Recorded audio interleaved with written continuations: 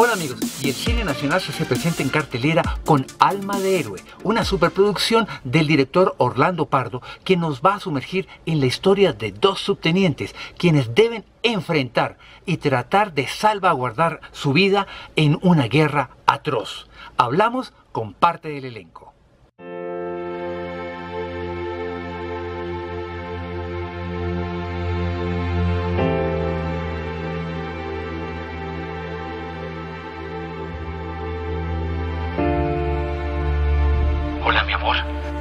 ¿Dónde estás? Aquí en Tolema, Ida. En dos días salgo para el Urabá. Pero antes de irme necesito decirte algo muy importante. Mi amor, tú no podrías venir. Me voy a casar con su hermana. ¿A qué hora te dijo? A las 10. Tavares, saliste su gente. Sale ya con su pelotón. Eh, tuve como la fortuna de tener en mi poder ese personaje que sé que va a tocar la vida de mucha gente porque tocó la mía. Eh, desde que tomé el guion para mí ha sido emoción todo el tiempo. Eh, desde el comienzo hasta el final eh, ha sido una experiencia increíble en todos los sentidos. desde la parte actoral hasta la parte humana y encontrar tanta gente bonita haciendo parte de este proyecto.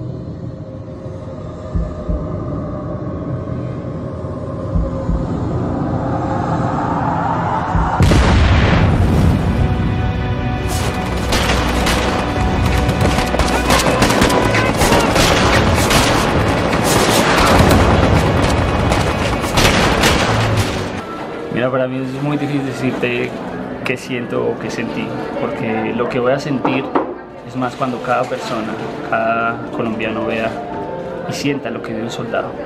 Creo que es una responsabilidad grande, como lo acabas de decir.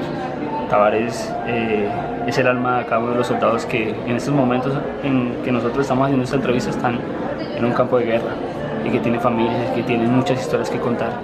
Tranquilo, porque usted sabe que yo lo quiero mucho, hermano. No se le olvide y ojalá nos veamos pronto. Pues vamos a ver pronto.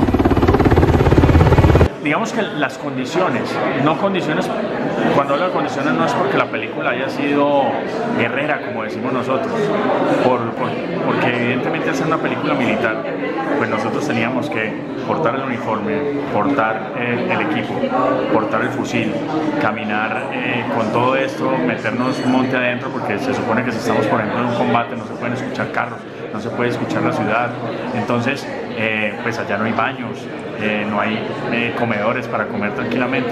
Pero todo esto ayudaba a enriquecer el personaje, nos ayudaba a meter a nosotros en el personaje.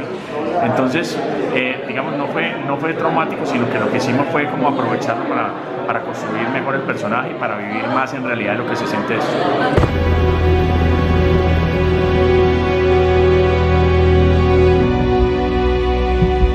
Usted sabe que nos engañó a todos, ¿cierto? Alma de es, es una investigación que vengo haciendo hace un par de años acerca del conflicto armado.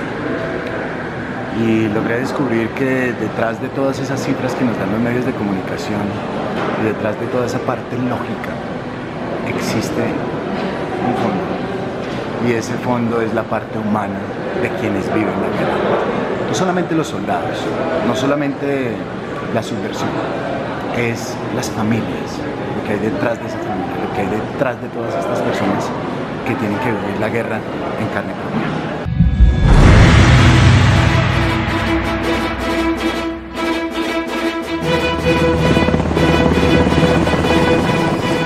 Usted me quería dejar, Tavares.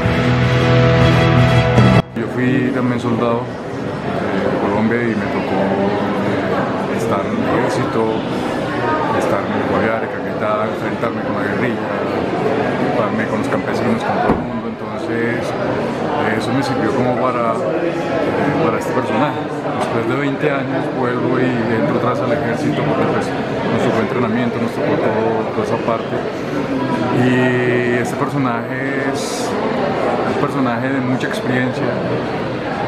Es el que ha estado en la guerra todo el tiempo, es el que sabe. Eso es lo bonito de este personaje, muy callado, muy observador. Y creo que es el que, el, pues el comandante, el que todo- todos los soldados van detrás de él.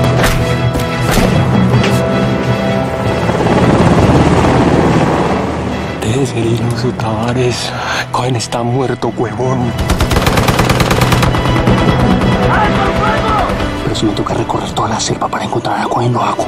Mi personaje, Mariana, la madre, es la representación de muchas mujeres, de muchas mamás que tienen que acompañar a sus hijos, que tienen ese sueño de prestar servicio, de estar en el ejército, de entregarle su corazón a un país para proteger a su país.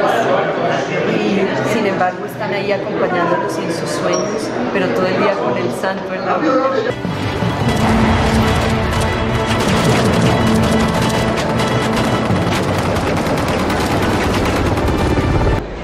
Podríamos decir que es una superproducción pretenciosa desde que empezó la investigación, desde cuando tengo la idea en la cabeza y cuando escribo el guion, pues obviamente se pone muchísimo más pretenciosa y mucho más grande.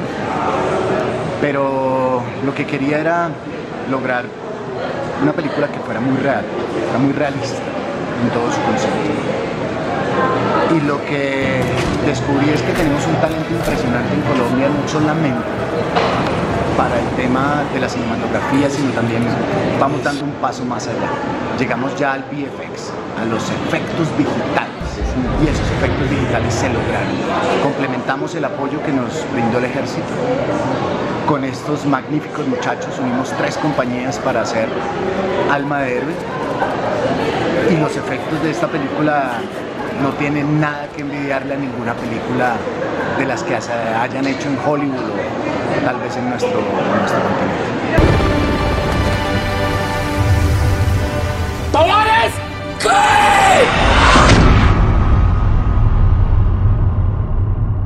¿Y quién está más cerca de la muerte?